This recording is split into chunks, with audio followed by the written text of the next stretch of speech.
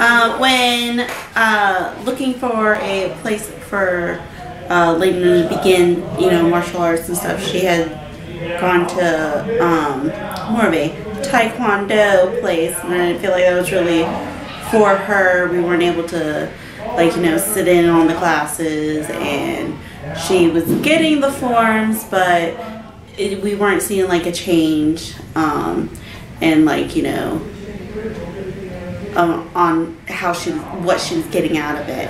Whereas now, after you know coming here, we are seeing that she is starting to come out of her shell, not being as shy as she has been. We really uh, we're hoping that she uh, can be more confident and um, you know especially where it came with those other kids and um, talking to other adults.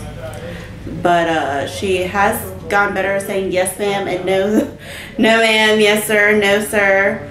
Um, she is you know, confident and prideful about like, you know, showing her cousin what she's learning because he still goes to the taekwondo that she was going to before. So now there's a instead of just being on top of each other all the time, it's more of a conversation between the two of them on who's learning what and how each person's doing. So that was really cool and she's excited to come every week. And she's helping around the house without us asking, which is great.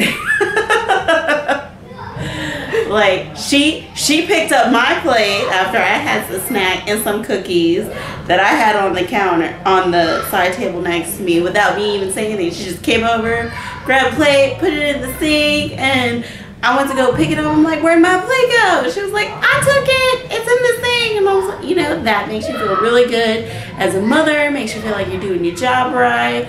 But a lot of it has to go towards, you know, um, Master and everything because he gives those little sheets where they get, you know, points and stripes for doing stuff like that, which is awesome.